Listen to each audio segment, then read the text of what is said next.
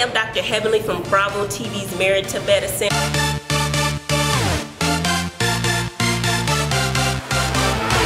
I'm not that stylish girl, so I really need the help of Ryan Christopher. He's helped me come out of the box with my style. I'm very conservative and he's found me my inner sexy. So I'm not, I'm still appropriate, but I'm actually um, on the fine line of getting to where I need to be. With Ryan's help, the sky is the limit.